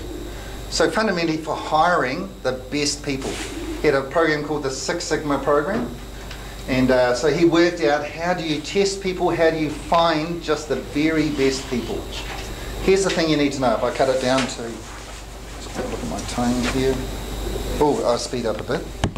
Um, if you cut it down to, so he, he had this program to find the very best people. In his book, when he talks about that, he would still say one in five people, 20% will be no good. Okay, so sometimes I look at it and go, wow, I didn't do all the things he did. So I think maybe one in two people I choose are no good. And here's one of the secrets I've learned is you must let them go. So sometimes, they, I mean, I have the slide here and go, you're fired. You know, it's not really like that. And you have many discussions. But if you have someone who is not in the team and it's not working out for re- and you, you will have made the decision to hire them, then I also go, you must have the courage in one sense to fire them, or another sense to let them go. You know, you're better suited over here. But this is something I've learned. Sometimes, and lots of people are too scared to do this. You know, too, they find it too hard. But actually, you, you must do it if you want to have the best team. Actually, an, ana- an analogy is sports, isn't it? So if you want the best uh, football team or the you know the best cricket team, then you're lifting the bar all the time, aren't you? And you get someone in, they don't make it. Sorry. You have to you have to get the bar higher and you get the best people. The best team wins, not the best individual. It's always the best team. So you have to have the courage to do this. get organised. The company manual. So actually what often happens in a startup, and I'd be like this as well, um, you know, there's lots of energy and you're making this product and, you know, and you, then you find some customers and you make some sales. And actually, if you don't get organised or have a manual or a procedure or process on how to systemize the business, then you'll fail. There's a famous book that I also try and get people to read. and it'll be here. It's called The E Myth. Okay? And the E stands for entrepreneurial. Okay? The entrepreneurial myth. And here's the myth actually, because you let, let, me quickly talk to you about that. Why do people go into business? You know people in business, don't you? Or you're in business yourself. Why do people go into business? There's only two and a half reasons. Two and a half. Two and a half, yeah. I'll tell you, I'll tell you, I'll, you, I'll tell you. I'll tell you the half. But, you know, you could say it's three reasons. Why are the reasons that people go into business? You have a job, but you leave the job and you go into business. Why do you go into business? To earn money. Good on you. That is the number one reason. I'm pleased you say that because whether I say this in America or in UK or in India or in Africa or in Australia, everybody says the same thing. Is to earn more money. Because you can earn more money than you can for working for someone. Okay, what's the other reason? Be your own boss. Ah, you're, you're good, this is, we're speaking out. Your own boss. What you are saying is, now I can um, uh, have more holidays, uh, you know, I can play golf, I can do what I like, when I like. I don't have the boss. These are the two reasons. What's the half reason? Can anyone think of why does someone go into business for the other half reason? They want people, they want other people to work for them. Mm, no, yeah, but it's true, but it's not the Changing half. the lives of people around them. Hey? Changing the lives of people around them. Yeah, you're nearly there. Happiness Yeah, no, no, to but make a you, difference in society. sorry? To make make. Yeah, no, so that's good. I'll tell you the reason. Because uh, th there's a guy in America wrote a book called The E-Myth, Michael Gerber, and he, you know, it's a thesis really. He's done lots of research on it. The half reason is you do what you are passionate about. So actually in the book is about a woman called Sarah, and she makes pies. She makes really good pies. You know, that's what she's good at, you know. And so most people, a lot of people go into business, they will not say the money and they'll not say I can do what I like when I like. They'll say, I like making cakes. And I'm really good at it. You know, look at my cakes, okay? Um, but in actual fact, I, I call that the half reason. What really happens? What's the truth? Why is the E, entrepreneurial, called a myth? What's the truth? What happens? You must know people in business. Do they earn lots of money and have all this free time? They can do what they like when they like. This is what happens. No. Hey, so you know. So what happens? They work every time. When, at, I mean, they don't work at all. Yeah. Because uh, they are they are doing what they are passionate about, Yeah. and it's not like working at all. So what I say is that you end up earning less money. Most people earn less money than they would have had a job, and they work more hours. It's complete opposite. Is the myth. In this book, in the corner, the E-Myth, tells you why. Okay? And the reason why is that most people, that- that in one sense, that they will say there is no company manual, no business manual. So there's no actually how does this business work? What say I was sick? I wasn't there. So there's no ability to scale the business or to grow the business. Okay? And that's the, that's it's a big problem. I made a big mistake with this. I didn't have the systems, I didn't spend the money on the systems, I didn't spend the money on the right people to systemize the business, to have the company procedure, to have all these things so you could scale and grow and grow. So it's really important uh, to do this. Okay, I'll keep I'll go a wee bit faster now. And, you know, I was just talking about this before upstairs. You can't grow what you can't measure. So you must have KPIs or key performance indicators uh, as, part as part of your business. Actually, is part of your life. If you go home tonight and you write out your life plan, make sure you do this, see if you can, you, you go and do that, then how do you know you are being successful? So you actually have to make some measures. I mean, you can write down the plan, you can write down the goals, but you must, if you want to be successful, make some measures. How does, you know, um, a sports person, you know, who wants to go to the Olympics, you know, they're a runner. How do they know that they're getting, because every time they're measuring that they want to get to this new goal, this faster time, and then they measure that, and then they, then they go a bit more. So you must measure. And you should learn to do that and be hard on yourself and setting on the business. I'll go and look at a business again. Um, actually, I'm involved in several businesses, and even today I got one. I got the weekly report. I'm only the director, but like I insist that there's a weekly KPI report. What is in that report? Here's the sales, the sales pipeline. Here's the product. Here's the issues. Here's customer feedback, good feedback, bad feedback, everything, every week. Never miss. So this is one of the things that you you must do. You must implement this, and it's a mistake. Some people don't. Um, you know, they, they review after months or maybe every year and all this. It will never work. You will not be successful if you, if, you don't.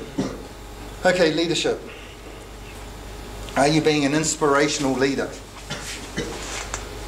It's not a choice. If you start the business, you nearly it's always up to you. You have to inspire and you and you and you have to lead. Uh, you need to find your mentor. You know, before I was saying sometimes you'll feel really alone. And so I, I, I complained, and they said, "This is your job. you know, this is what you signed up for. So you should go out and like, find someone who inspires you, who holds you accountable, and uh, and who helps you. Leaders are, are readers, and I also put leaders are writers. But one of the things I don't know how much you read. Sometimes I've met people who um, have done university, and they've done this really well. They have A grades and everything. And you know? For some reason, they think they're finished. there, I've done this. Tick. Now I'm ready to. And I go, this is just the beginning. That the whole of life is learning. And actually, leaders, you cannot be a leader unless you read. Actually, I'm a very slow reader. Good thing these days is, you know, I've probably got 200 books just on here. And I read everywhere I go. You know, I take the chance. Yeah, audio books you can plug in, you can listen to books. If you're a leader, then sometimes as a business and you're up against competitors and you're in meetings and that, the reason why you can do well and negotiate and win is because you know more than the other person. How do you know more than the other person? Because you read. You just read more than they did. And sometimes for me, you know, you could get up early in the morning, uh, every, everyone else is sleeping, it's quiet, it's 4 a.m., read. okay, there's lots of stuff you can read. Um, so uh, do that. Don't ask your team as a leader, don't ask your team to go where you won't go yourself. So sometimes I've seen people do that, the CEO, and they just say, I want you to do this. so actually with sales, I think a CEO always has to do sales. Has to be able to go and talk to the customer, has to be able to get the feedback, has to be able to present. So I always look and go, never ask someone to go where you won't go yourself. Just parts of being a um, leader. And then also make sure you put a good team around you. So it's never you on your own. Sometimes if you ask me how come I ended up making 14,000 rupees into $100 million, I should say it was Stephanie. She was really good. She's much better than me. um, it was uh, Daniel. Oh, he was so clever, such a good uh, developer, and I just, it's my team. And nearly every business at the end of the day, you'll look at it and say, that was really important. So how to find great people, inspire them, have them around you, um, that's essential. Competitors. So again, to be successful, you must know your competitors. Actually, this is the thing I learned about Microsoft. It was one of the books I read in the, Alan, in the early days of Microsoft um, with Word and Excel, and they were competing uh, against WordPerfect and uh, Lotus 123. And I can remember reading in the book that they would have, in the, those days you'd buy the software in a packet, and uh, they would have the packets that the software was in, in the hallway, and they would uh, bowl down and try and blow the, uh, knock the packets over. But what they were saying, so this is just a funny story, but what they were saying was, um, and I read, this is a Microsoft quote, we are only, and Microsoft has so much money and it's very successful. But even with all that money and all that success, they were saying we are only 18 months away from failing. And so actually that kept them, and I presume it is still like this, you could comment Helen, but that kept them looking at the competitors. What are they doing? How are they doing this? Understanding their product. You should do all of that and that. Sometimes um, I would take my team away, my management team away, to for uh, um, two days, to, no, off off-site from the business, and I say the whole point of that time was to be the competitor. So I'd actually say, you know, when we got over there, I'd just say, okay, I am not this company anymore. I'm the competitor company, and we're going to make the plan to beat my company. okay. And so it's actually a really it's a fun exercise to do, and you try and work out all the how will we beat this company, and you try and uh, get in the mindset of the competitor. It's a good thing to do. It's a fun to do as well. But you must you must treat competitors seriously, and you know how you're going to win, how you're going to beat them, how you're going to do it better. It's back to the game of chess. I talked about this before, listening instead of speaking. And so actually some people are very bad at this, you know, but I just go, the customer knows. When you can make something and at the end of the day is the customer who's going to tell you, I love your product, I love what you do, and all that sort of thing. Or actually, if you are listening, I don't like your product. I bought it, I'm unhappy. This is what I don't like, this is what I don't, this is what I... So you must find that out. You must have a willingness to want to do that. Um, yeah. Here's something I read in Microsoft as well. I'm giving you lots of Microsoft quotes, but they did it. Um, I understand that Bill Gates, maybe in the early days when he was um, was um, managing the business, he is the CEO, and I, I still apply this today. In fact, I wrote an email this morning to someone asking for this. So the weekly reports that you're collecting from people and that you are making as a management team, that the, the CEO gets or the directors get, um, apparently he used to ask for as much bad news as good news. So this is really interesting because I've been in businesses or companies where you only read good news. now, how's the business going? And you read, oh, it's great, there's this and this and this. If I see something like that, I just don't believe it. I just think people are lying to me or they're deluded. One of the two, you know. Uh, you're not telling the truth. There is always bad news. And you must listen. And you must create an environment to get that bad news back.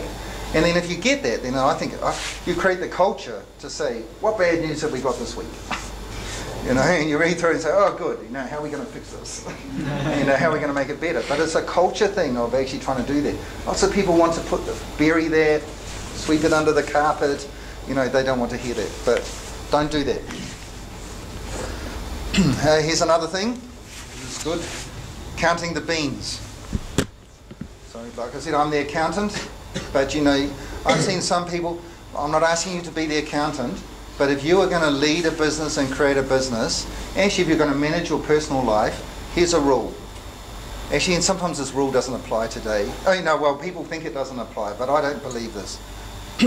you should. This is. Uh, you'll always be successful if you do this. So here's something. If you sell more than you spend. Actually, in your personal life, if you if you uh, spend less than you earn, you'll be happy.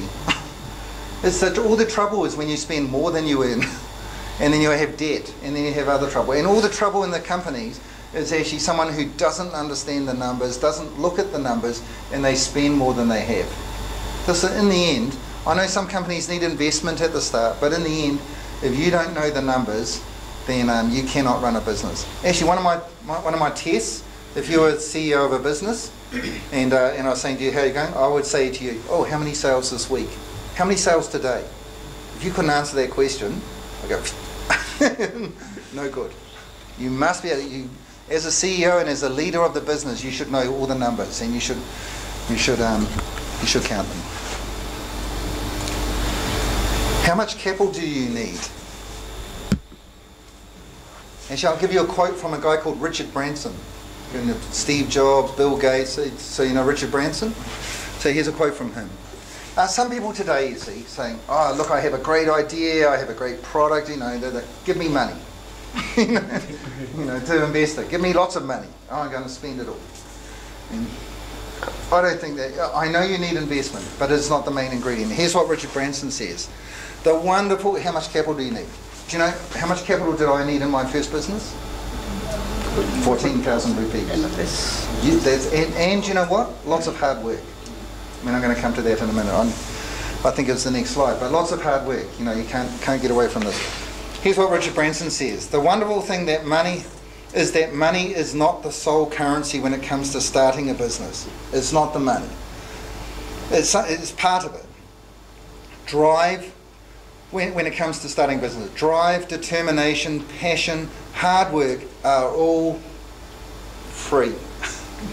okay? And are more valuable than a pot of cash. So drive, determination, passion, hard work are free. And you have those. If you don't have them, mm, maybe you shouldn't be in business, but, you should have them. Um, I'll put in a little, no, no, I'll skip that.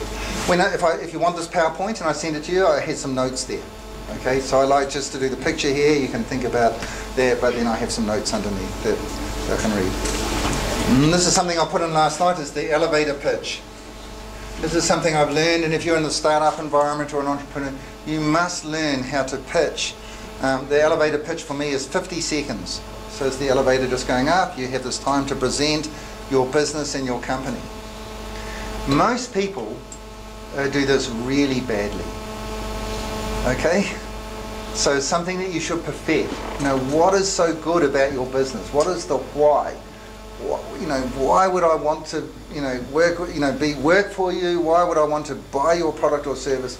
Unless you can say this in 50 seconds to a stranger or to someone and get my attention, then you know this is it's not good. You must be able to do that. I went to a, um, I've hardly been to any courses, but I went to a course for CEOs uh, where they talked about this, so I've never forgotten it. Uh, I partly never forgot it because this is after I've been really successful in a business, and we had to, some of us had to then do the pitch. And so I did the pitch, and this person, actually this person, Alan, was the, the head of Microsoft in New Zealand. and this person, he looked at me, he said, you are hopeless. That was it. He told me, he said, my pitch was terrible and I was hopeless, I was useless. How did I ever sell anything? I was very offended. I was trying to argue back and saying, hey, wait a minute, you know, um, I have sold lots, I've created this business. No, you know. Actually, he was right. Even though I'd been listening all day, I hadn't, I hadn't listened properly, I hadn't figured out. And one of the worst things people do is they go in and see, you know, if you're seeing someone and you're trying to pitch the business, you say, hello, my name is John, I'm from this company. And the guy who was running this course, he was from MIT at America, very, very successful person. And he starts off by saying, I don't care who you are. I don't care about your company name. And so you start to strip it back. Why should they care about who you are, what your name is, what your company is? What have you got? What is your why? Why would I even bother talking to you? So actually the elevator pitch is very important. I always go back and say, can you tell me in 50 seconds about your company or your idea? And you should practice this. What do you practice to? The mirror. Look in it and convince yourself. But you must put effort into this. You must put effort in and you must do it really well, especially if you're trying to raise money in there. I'm nearly finished, okay? Hard work and transparency. So I still wanted to make clear, just in case, but I'm going to say that I haven't met anyone yet who has been successful in business who hasn't worked hard. So I hope you all have this attitude. Actually, and I mean really hard. So some people uh, these days just think, I don't want to work hard. I want, you know, I want to have an easy life. I take lots of time off. You know, this is the, and, go, and I'll go, it won't work. Actually, for me in my early days, after I left Nepal again, on Wednesday, every Wednesday, I'd stay all, up all night um, because I thought I'd get an extra day.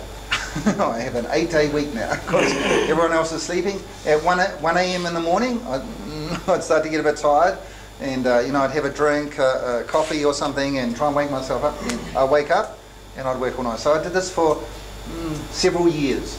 I got an extra day. I'm not asking you to do this, but I am saying to you, if you ask me, why did I turn $200 into 25 million? I say, I worked hard. And, uh, and you must ask yourself, are you prepared to work hard?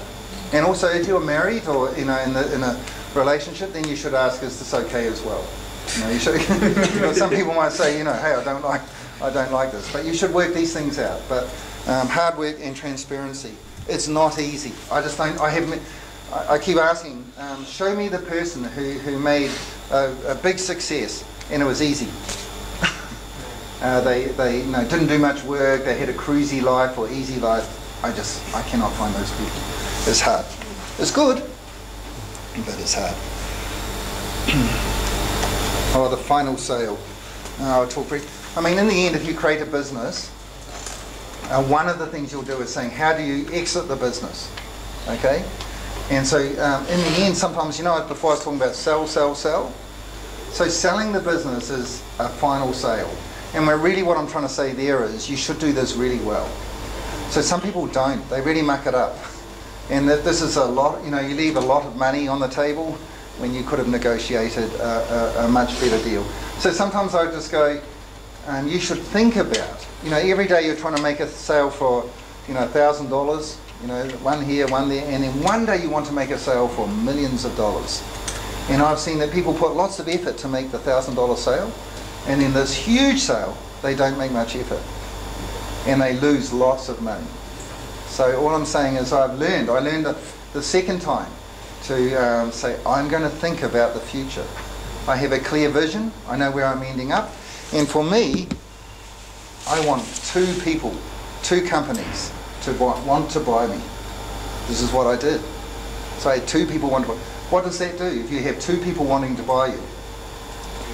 Puts the price up, doesn't it? Puts the price up. So I was thinking about this many years before I did it. I even named the companies. This is who I'll, I'll get to be interested in. I sort of say, with competitors and you're trying to make a sale to them, you either love them or you irritate them. or, or both, you know. But, uh, but you get them interested to talk to you. And sometimes they'll take you out, they want, I want to buy you because you're a problem to them. Or I want to buy you because you're a good partner, I like you.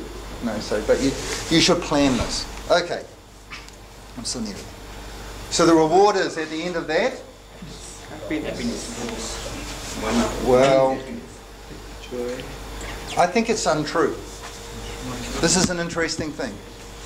So, and it's one one of the one of the things that you may find. I know, and I know it's easy for me to say because I have more money than I need. But sometimes we live in this system where we think that ultimately, and we work so hard, and, and we are successful, and then actually you get this pile of money. And actually, I can tell you, and lots of other people will tell you, that then you are potentially unhappy because it doesn't do anything for you. You say this is the reward. Sometimes I say it's a mirage. You know, and, and uh, often I've said, you know, what is really, what, what you know, you, you end up having to ask the question, what does make you happy? And what is the purpose of life? And, you know, and, and all of that. And so I only put this up there because I encourage you, because I've seen people then chase the money. Somehow the money, you, you must be able to read in the magazines, you see the people who are very rich and who only think of money, their marriages are always failing. you know, always, they're in they end up on drugs. They, they just have all this trouble uh, because they're thinking that money and the thing that money can buy actually makes them happy. And so I can tell you, and many people will tell you it doesn't make you happy. In actual fact, the irony is you'll probably end up having to work out how to try and give the money away. And this uh, sometimes can take more work than the effort you made to actually uh, to get the money. But anyway, you should think about it. Just be careful that if you are only thinking that the money, and I know it's harder for if you have no money and you're saying, I'm trying to get myself and my family, even your community, uh, to lift them up, there's, there's all a good thing. I really like it. I encourage you, I want you to be entrepreneurs and to take the risk and to do these things. I want all of that for you. Don't think that the end game, the end goal is you have this money, now you are happy. Probably not. okay, so think about it. So then I just put up here, so now you end up having to give. Um, this is what makes you happy, you know, in one sense. I think if you find that you that you give, you receive more back. So uh, working here in Nepal, this is where, and with um, MIC and with Alan and, his and Junu and the team, then we try and take rooms like this. This is a classroom in Vertibone. You go back, and we make it into a classroom like this. So that's a really, oh no, no, no, no. But you could do that. I want you to do what I did, okay? You could do that. And this, this will make you very happy too. Just in case, I gave you a whole lot of things about uh, being an entrepreneur. Now you might think, whoa, I'm never going to be an entrepreneur. It sounds like I work too hard, I have to fire people, uh, my parents might not like me, but you know, oh, I never do this. and uh, then I say, but actually, if you asked me, I worked in an accounting firm, being an accountant. Am I happy having been an entrepreneur, started business? You know, things have failed, but some things have been successful. I'm really. Okay, I'm really very, very happy that I've done this. It was a good thing um, that I understood my personality. That my Cheryl, my wife, said, "Yes, you do that."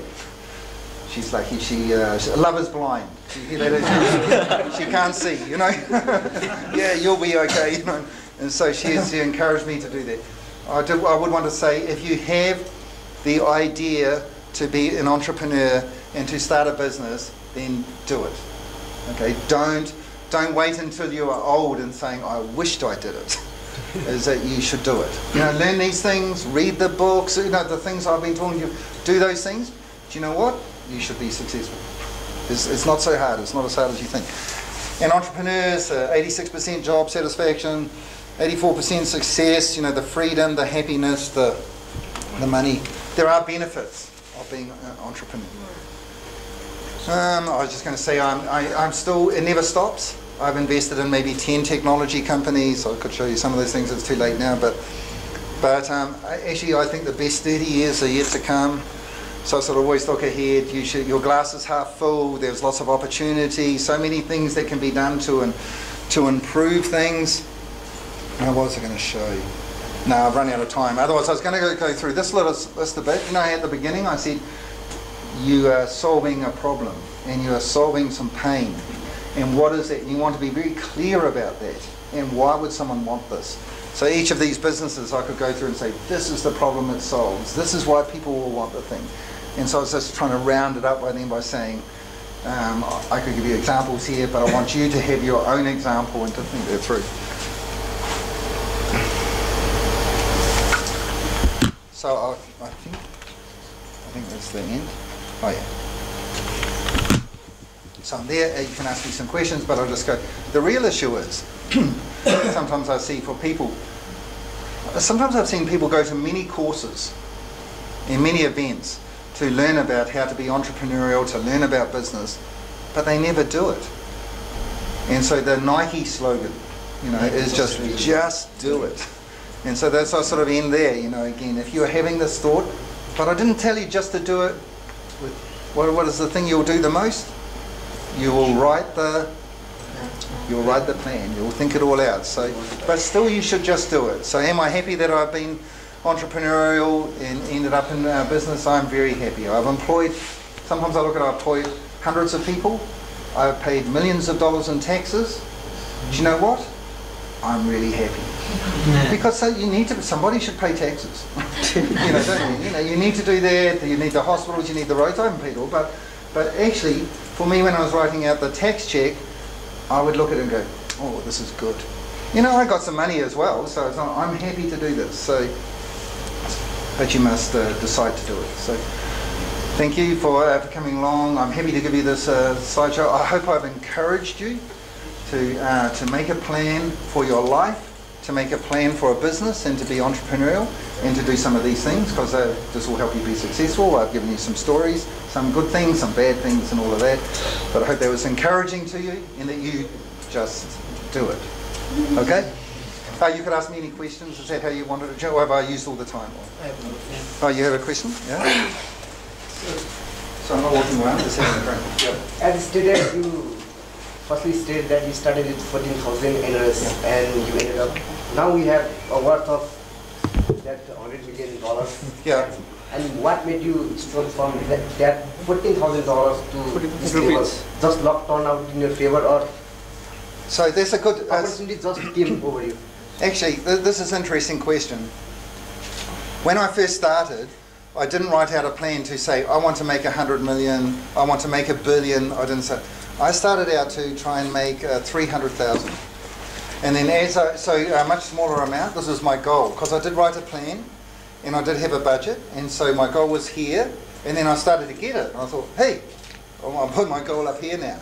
So it's just like the person running and trying to go further. And then I get to there, I go, eh, I'm going to shift it up to here.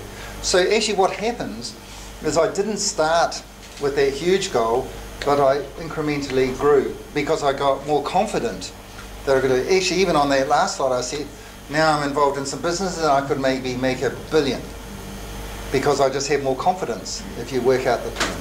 But you start small, smaller plan that is, actually is the goal. Is it realistic? Does that answer? I don't know, one, add one more question. Yeah. Sir, just being frank, you were introduced to us as a director and uh, investor, right? Was I? Like Swift, Swift, Swiftpoint, Yeah. And Yeah. React. Oh yeah, yeah. you're investing in. Yeah, yes, yes, But you talked about here uh, about entrepreneurship and creating Yeah. businesses Yeah. and how to work that out. So I want to learn something more about investing. What is actually intelligent investing? Okay. So, it's, so the answer is, is a really simple answer. You can have a seat. Is a, the really simple answer is, I look for the, the very things I just talked to you about. So, so I'm looking for a plan. you know, someone has written this out. I'm looking for leadership. You know, I see that there is a good leader. All the things I went through there, I'm looking for these. That they value sales. I can go through, you know, all the things I talked about. All of these things I see in the business. Most of all, one of the key things is all of you, if you start your own business, will believe in yourself, won't you? So uh, all of us will invest in ourselves. As you know how I say you should read, sometimes I say you are investing in yourself. You know, don't be too stingy and you don't even buy the book. buy the book, and if you say, you know, sometimes people, I've seen people waiting for their employer to buy the book. and I just go, don't be a stinge, just buy it. for, you, for who? For yourself because you're investing in yourself. So you invest in yourself. So the key thing when I look at a business is you're investing in the people. So you must you must have good people. Okay, there's the there's the key, and then all those other things. Yeah. One more. Oh, there's a guy down the back. I'll go first. and then- Actually, I'm wondering about uh, situation Yeah. about uh, when you were being in a progress uh, uh, in a top level. Yeah. There might be situation like you are falling down immediately in a situation. Yeah. So I'm wondering what in that situation you find out the problem or so how did you figure out that or how did you maintain everything and what is the important things that we need to be careful about after being down and again, again to be raised up Yeah. what is the thing Okay, there's a good question, and I, and I do plan for this. And so, look, one of the things I do is I plan for the worst scenario. So uh, when I'm doing my budgets and plans, I'll go, look, uh, I actually, I didn't say this to you, I have three plans, okay? One plan is my optimistic plan, my target. Um, my glasses are full, I'm, I'm an optimist, and so here's what I'm, I'm going for. And my sales team and the whole company is aiming for this. I have another plan sometimes that I give to the board, or to, you know, you might have advisors or your parents or something like this. And this is more conservative, okay? It's not, it's not the optimistic plan, but it's a conservative, and it's a successful plan. Then I make another plan, and that plan is the worst case, the worst scenario. So I actually, from the beginning, work out saying, what say I make no sales, what say I, everything goes bad. Then all I'm trying to do is saying, in that scenario, am I still there? So I never actually uh, go be, below that. I mean, uh, these things might happen, but I'll just go, the, there is a worst scenario and I plan for that and I say, can I still survive? Can I still have a business with this worst case scenario? So when I do that, and you should, all, I think everybody should do that, plan for the worst case and sort of still be there, still know that you'll survive. The second thing is if you're doing something that is failing, then as I, I did mention that before, fail quickly. is um, so you know like you sometimes you can see the worst thing is part of human nature that we're doing something we don't want to admit that it's a bad idea actually I, i've learned to be more and more like that. Sometimes i'd come to my team i'd have my staff meeting and just to make them feel better i would say to them you know i said that we would do this and it's a great idea and we're going to make all these sales. And usually i'd say this is me. Then i'd say to them that's a really stupid idea. It hasn't worked. I try and say this is me and I'll try and get them to actually go, oh, okay then, you know, if he thinks it's a, you know, he's mucked up, and then, then I'm cutting sooner. Because I see people um, actually per- persist with a bad idea, and they go down and down and down and down, and then what, by the time they get there, it's too late. Uh, so I, does that help? Can I ask one? Yeah. My question is, uh, at what point in your life uh, you, you realized that uh, you wanted to start a business? Oh, so I started in um, my mid 30s, okay? Uh, but that is a wee bit because I said that um, to some degree um, I didn't have a plan for my life. I drifted a bit. I mean, I was, my life was happy and that, but uh, now I'd go, if you are not, uh, how old are you? I'm 19. 19. Fantastic. How lucky are you? you, you know, you are, you're a really lucky person that you are young, and I've already told you all these things because cause I had to wait until I was older, that much older. So you can start at any time. Um, and the things I told you, you know, I think if you do these things, you'll be successful. Put good people around you, um, write out the plan, all these things, they work. But you don't have to wait till you're older. Equally, you know, when the Colonel Sanders, um, just because if you are older, you know, sometimes you think, I, I started business, excuse me, at uh, the hardest time. Partly because I had two children, they were young, you know, not at school, uh, my wife wasn't working, I had a mortgage, and now I'm going, whew, you know, now I start a business. You know, and, and everyone around me saying, whoa, you know, don't do that, is that irresponsible, you know, and all these sort of things. So it's not. Not if you write the plan out and, and, and work it out. You are lucky. You're so young. yeah. Can we get your email contact? Yeah. Oh.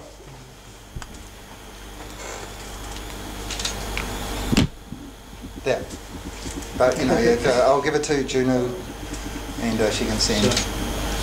What what motivates you to business? What motivates me? Uh, this is interesting. So I probably, you know, when I go back to the two reasons, I, I am the same.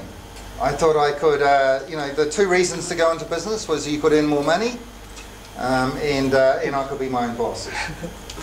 So in actual fact, I'm going to tell you that, you know, in the book that says the E-myth, that this has not worked out. For most people, this has not worked out. For me, it has worked out. Why did it work out for me? What's the answer? Why did it work out for me? So I, I, I then I made more money, now I can have my own time. Why, why, why is that? Have Hey? a plan? I have a plan. I did what I said.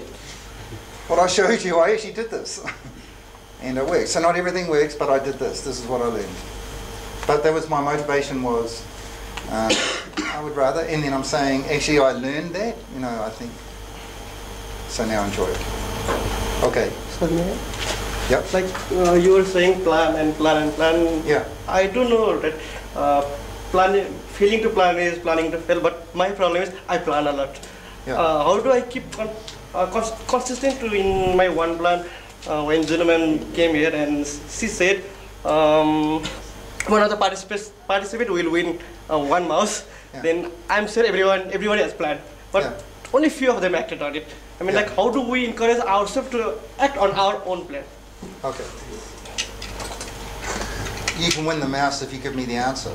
Because I just, I just, I just told you not not long ago what the answer was. So who, who's the answer? If one of- someone gives me the answer, then you win the prize. Okay, you put your hand up. Just do it. Hey? Just do it. Correct. That's the answer. You could have said lots of things. So you should have been faster. You, you, I just told you. Uh, where is the slide? It's there.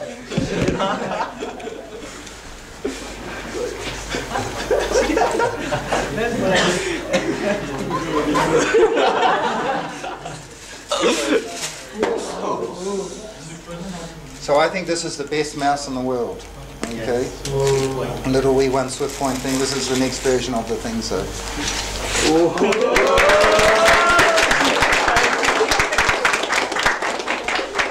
That's a two hundred fifty dollar mouse. Oh. He used to thank me. Sorry. I have one question. Yeah. No more mouses. No more.